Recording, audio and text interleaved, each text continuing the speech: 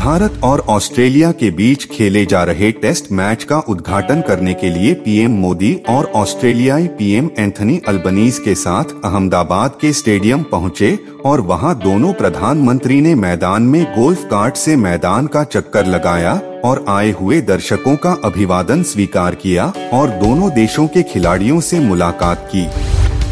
दिल्ली शराब नीति में कथित घोटाले में जाँच की आँच तेलंगाना तक पहुँच गई है। प्रवर्तन निदेशालय ईडी इस मामले में 11 मार्च को तेलंगाना के सीएम केसीआर की बेटी कविता से पूछताछ करेगी।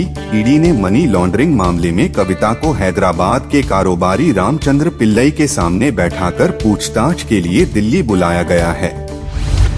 अहमदाबाद में बॉर्डर गावस्कर ट्रॉफी के चौथे मैच के पहले दिन ऑस्ट्रेलिया ने पहली पारी में चार विकेट पर 255 रन बना लिए हैं। ओपनर उस्मान ने 104 रन बनाए, जबकि कैमरून ग्रीन भी उनचास रन पर नाबाद लौटे। भारत की ओर से मोहम्मद शमी ने दो विकेट चटकाए, जबकि रविंद्र जडेजा और रविचंद्रन अश्विन को एक एक विकेट मिला। 8 मार्च को बॉलीवुड ने अपने दिग्गज कलाकार सतीश कौशिक को हमेशा के लिए खो दिया है। होली खेलने के बाद उन्हें बेचैनी महसूस हो रही थी, जिसके बाद उन्हें फोर्टिस हॉस्पिटल ले जाया गया।